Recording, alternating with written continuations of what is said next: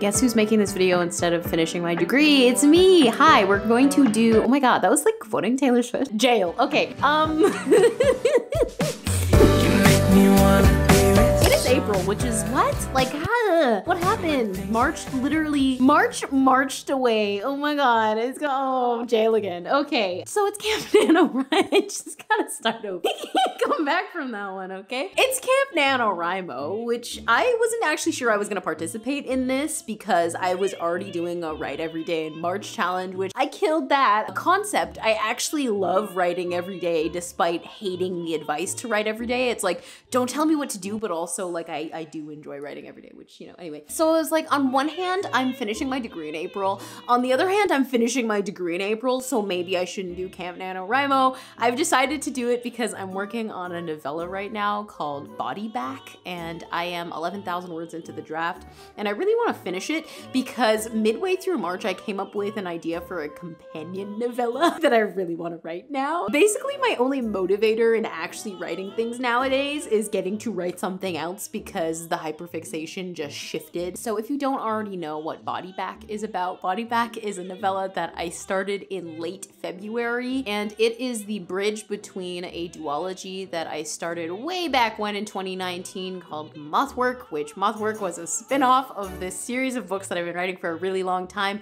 You already know the drill, and if you don't, I have a video explaining all of this. The Mothwork duology has two books, Mothwork and Feeding Habits. They're both literary fiction, and I had a relatively miserable time drafting Feeding Habits, and in February, my brain was like, what if I made up for that like lost opportunity of hating drafting feeding habits and actually enjoyed writing my book? And that's essentially how Body Back was created. I have an entire video explaining the conception as well as the plot, but a quick summary is that it follows this 21 year old named Harrison who needs to get his life together. But in this, he's not going to. He's the, that's not his goal. the log line is along the lines of 21 year old Harrison is sick of routines, of gods, of men, on a mission to move past a complicated breakup. He's about to get recklessly self-indulgent and he's come to the right place. Oh, I missed the part where it was, it's 2005 in Las Vegas. So what stays in Vegas stays in Vegas. I don't even know what the fucking quote is. It's what happens in Vegas stays in Vegas. So I'm currently on chapter three of Body Back, but chapter three is called 24 Karat Harrison. If you follow me on Tumblr, you already know everything about Body Back. I share everything on Tumblr because I don't know. I need to actually chill because my digital footprint is catching up with me. 24 Karat Harrison follows our narrator Harrison, who is like, I'm tired of being normal and having to be a responsible adult. I just want to party. He turns into the 24 karat version of himself, which I mean, like, love that for you, King. It is actually quite long already, 24 Karat Harrison. It's almost at 4,000 words. So the first chunk of April is gonna be me trying to finish it. We actually got to the part where he's going to actually go to a party now because believe it or not, the party chapter still hasn't started despite it being over 3,000 words. I don't think this book is gonna be much longer. It's supposed to be a novella, so I think it's gonna be about 20,000 words, which is why the goal is to write 10,000 words. But my goal in April is to either write 10,000 words or to finish the novella. So whichever comes first is the goal. I will link my NaNoWriMo profile if you wanna be my buddy on there. I'm not gonna take this very seriously. I've actually only ever done April Camp NaNoWriMo once, and that was like in 2015. So it was a long time ago.